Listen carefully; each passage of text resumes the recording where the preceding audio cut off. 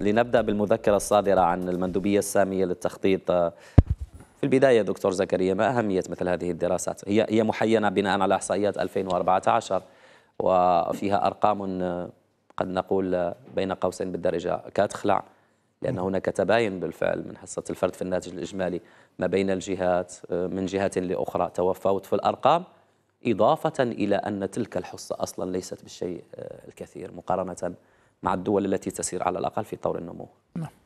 صحيح هو ما أشرتم إليه فيما يخص التباين ولكن قبل أن نتطرق إلى الفوارق المجالية ما بين جهات المملكة يجب آه، أن نعلم على أن هذه الورقة ولا هذا التقرير الذي جاءت به المندوبية السامية للتخطيط هو تقرير محير لسنة 2020 اللي هي سنة كانت سنة الجائحة واللي عرف فيها الاقتصاد الوطني واحد التراجع الذي فاق أكثر من 7% وكان جليا على أنه واللي كان جليا وكذلك الذي كان مهما في التقرير هو أنه التراجعات أو كذلك هناك بعض الجهات التي حققت نمو هناك تقرير يتحدث عن ثلاثة جهات التي كانت نسبة النمو فيها إيجابية وجهات أخرى خاصة الجهات الجنوبية وسنعود لماذا الجهات الجنوبية.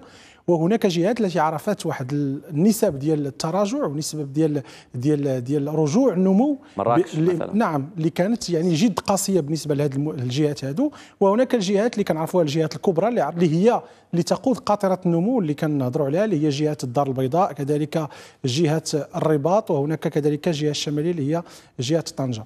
إذا في هذا الإطار هذا كنظن بأن نبدأو بالحوار ديالنا على العلم على نتحدث عن سنة الجائحة السنة اللي كان فيها تراجع ديال الاقتصاد الوطني. نعم. ولكن المهم في الورقة ديال ديال المندوبية الساميه للتخطيط هو أنه الفوارق المجالية التي يعيشها المغرب هي فوارق حقيقية. وهذه الفوارق الحقيقية مرتبطة بعدة عوامل. اولا مرتبطة بالخصائص ديال كل جهة. يعني مثلا ملي كنشوفوا الجهات الجنوبية النسيج اولا الاقتصادي. النسيج الاقتصادي اولا كذلك تنوع الاقتصاد في الجهات.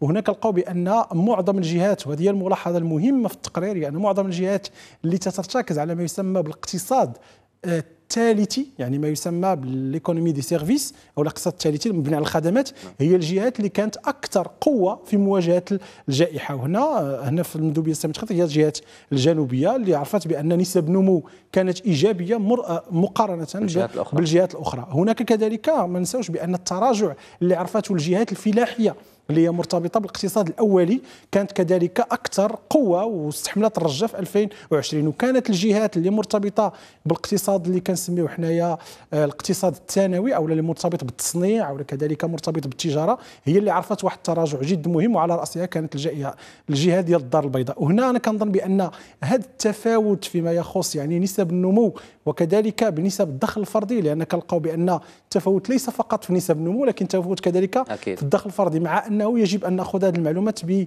أو هذه الأرقام بواحد النسبية. لماذا؟ لأن ملي كناخذوا الجهات الجنوبية اللي كنلقاو فيها واحد النسبة ديال الدخل الفردي جد مهمة اللي كتفوت المعدل ديال المغرب لأن المعدل تقريبا يتجاوز 35 ألف درهم ولا 35 ألف بالنسبة للمعدل المواطن سنويا كنلقاو الجهات الجنوبية كتلقى الضعف يعني كتلقى أكثر من 70 ألف بالنسبة للسنة. ولكن هذا مرتبط بماذا؟ مرتبط كذلك بعدد السكان. ما ننساوش بأن الجهات الجنوبية نسبة وتناسب. النسبة وتناسب. هناك عدد السكان اللي هو قليل على المساحة كبرى ثلاثة ديال الجهات.